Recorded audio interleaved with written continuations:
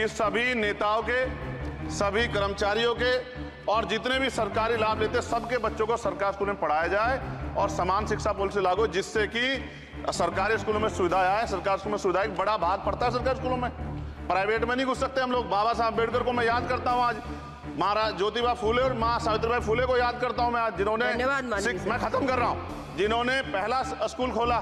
तो ये भी मांग करूँगा कि तमाम नेताओं के बच्चे तमाम ब्यूरोक्रेट्स के बच्चे सरकारी स्कूलों के अंदर पढ़े ताकि सरकारी स्कूलों का स्तर और ज़्यादा जाए। शिक्षण संस्थानों में कार्यरत एस सी ओबीसी के शिक्षकों को होने वाले जातिवाद को रोका जाए। बाल छात्राओं और महिलाओं के लिए कौशल विकास केंद्र और खोले जाएँ। घुमंती जातियों के बच्चों के लिए मोबाइल स्कूल चलाए जाएँ। छात्राओं के लिए आत्मरक्षा और खेल की विशेष सुविधा उपलब्ध कराई जाए। और महोदया एस योजना को पुनः आरंभ किया जाए। SPQEM शिक्षा की गुणवत्ता सुधार के लिए एक महत्वपूर्ण योजना थी, जिसे अल्पसंख्यक मंत्रालय ने मदरसों में चलाया था। इस योजना के अंतर्गत एन के माध्यम से मदरसे में बच्चों को मुफ़्त हाई स्कूल व इंटरमीडिएट की पढ़ाई करवाना पक्का प्रावधान था। एन जो एच मंत्रालय के अधीन चलने वाला एक ओपन बोर्ड है, इस योजना के तहत विद्यालय, विद्यार्थियों को गुणवत्तापूर्ण शिक्षण पर शिक्षा प्रदान करता। मैं खत्म कर रहा हूँ मैं एक मनुस्मृति आप शुरू कराना चाहते थे गलत है। हम लोग इसका विरोध करेंगे और कोई इस तरह कदम उठाएगा, ये अच्छा नहीं है। साथ साथ मौलाना जौहर यूनिवर्सिटी थी, मौदिया, रामपुर में।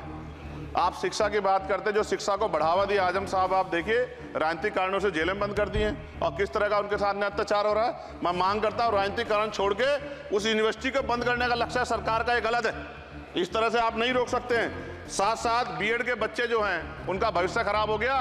करोड़ों में उनकी संख्या है, क्योंकि एक नया आदेश वो करके प्राइमरी स्कूल में उन्हें भर्ती हो सकते बीटीएस बीटीसी और बीएड के बच्चे परेशान हैं, इसलिए मैं आपसे आग्रह करूँगा, इस पर ध्यान दे।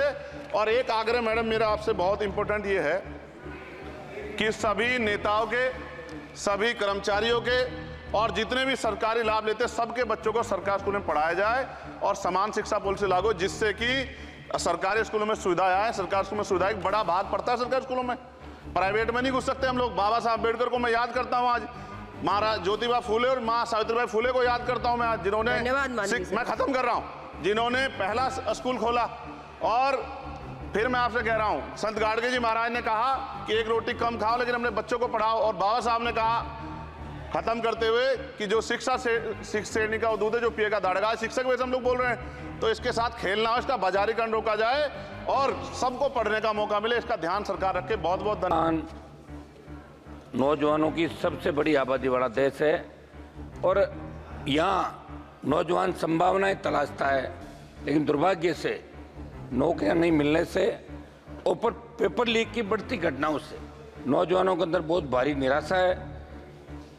छात्र राजनीति चाहते हैं, हमारे शिक्षा मंत्री जी निश्चित रूप से मेरी इस बात पर ध्यान भी देंगे। क्या सुधार हो सकता है? अंतिम छोर पर बैठे व्यक्ति को, गाँव डाणी के अंतिम छोर पर बैठे गरीब व्यक्ति को शिक्षा का अधिकार कैसे मिले? मैं तो ये भी मांग करूँगा कि तमाम नेताओं के बच्चे, तमाम ब्यूरोक्रेट्स के बच्चे सरकारी स्कूलों के अंदर पढ़े, ताकि सरकारी स्कूलों का स्तर और ज़्यादा अच्छा हो सके। आप तो जानते हैं, कई जगह स्टेट, कई जगह देश सीधा नियंत्रण राज्य सरकारों को होता है। लेकिन शिक्षा के क्षेत्र में हमें और ज़्यादा आवश्यकता है बातों के अलावा धरातल पर काम करने की। शिक्षा मंत्री महोदय, मैं दो तीन जो मेरे प्रमुख मामले हैं, मैं आप, आपका ध्यान आकर्षित करना चाहूँगा। भारत के सरकारी स्कूलों में लगभग 8.4 लाख शिक्षकों की कमी पद खाली है। ये संख्या अत्यंत चिंताजनक शिक्षा की गुणवत्ता पर प्रतिकूल प्रभाव डालती है। प्राथमिक स्तर पर शिक्षकों की कमी है। प्राथमिक शिक्षा किसी भी छात्र के शैक्षणिक जीवन का आधार होती है। मैं मांग करूँगा कि प्राथमिक प्राथमिक और माध्यमिक स्तर पर जो भी शिक्षकों की कमी है, आप ये नौकरियाँ इसके अंदर निकालें, सारे पद आप भरें। शिक्षक छात्र अनुपात। समझ महोदय कई सरकारी स्कूलों में एक शिक्षक पर साठ सत्तर छात्रों के ऊपर एक शिक्षक, जबकि आदर्श रूप से संख्या तीस पैंतीस होनी चाहिए। इससे शिक्षकों के लिए व्यक्तिगत रूप से छात्रों में ध्यान देना संभव हो जाता है। कई स्कूल में दस बीस छात्रों पर चार से पाँच शिक्षक लगे जो नज़दीकी ट्रांसफ़र कर लेते हैं, जो पावरफुल होते हैं, शहर के नज़दीक ट्रांसफ़र कर लेते हैं और एक स्कूल में पाँच पाँच सात आठ आठ लग जाते हैं जहाँ आवश्यकता नहीं है। तो इसके अंदर भी आप इस नीति के अंदर लाएँगे, ऐसी असमान व्यवस्था का प्रतिकूल प्रभाव पड़ता है। कोविड उन्नीस के अंदर जब लॉकडाउन में स्कूल बंद हुआ तो शिक्षा को ऑफलाइन मोड से ऑनलाइन मोड में कर दिया। इसका असर पूरी शिक्षा प्रणाली पड़ा। कि जो लोग ऑनलाइन शिक्षा का उपयोग कर सकते थे, वो जुड़े रहे, लेकिन कितने ही बच्चे ऐसे थे जिनका अभिभावक सामाजिक आर्थिक परेशानी के चलते अपने बच्चों को ऑनलाइन कक्षाओं में समुचित नहीं करा सके। शिक्षा मंत्री जी, ग्रामीण और पिछड़े इलाकों में शिक्षा का स्तर अत्यंत चिंताजनक है वहाँ के बच्चों को अच्छी शिक्षा और आवश्यक संसाधन नहीं मिल पा रहे इससे समाज में समानता बढ़ी। रहते में शिक्षा के क्षेत्र में नवाचार तकनीकी विकास बढ़ा देने की आवश्यकता है। हमारे छात्र वैश्विक स्तर पर प्रतिस्पर्धा- कर सके।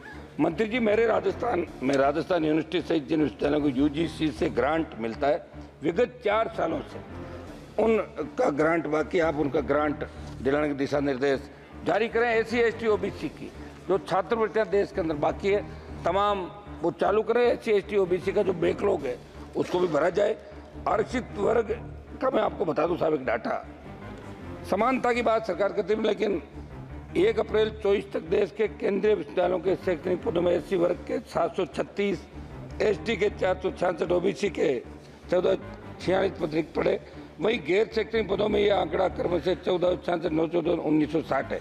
मेरी मांग है कि दिल्ली यूनिवर्सिटी सहित देश के तमाम केंद्रीय संस्थानों में आरक्षित वर्गों के लिए जो पद नियत किए गए, उन्हें जल्द से जल्द आरक्षित वर्ग के अभ्यर्थियों से ही रिक्तियाँ भरी जाए।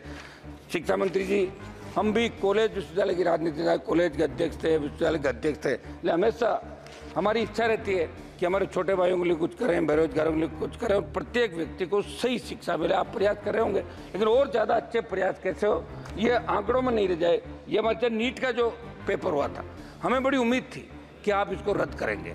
सुप्रीम कोर्ट के अंदर मामला गया, सुप्रीम कोर्ट ने मना कर दिया, लेकिन हम आपसे दोबारा मांग करते हैं। कि नीट के अंदर अपने को जिद छोड़ के ए, एक एक मिनट समाप्त करूँगा। एक दो सुझाव मेरे। इसकी जिद छोड़ के इस एग्ज़ाम को वापस करना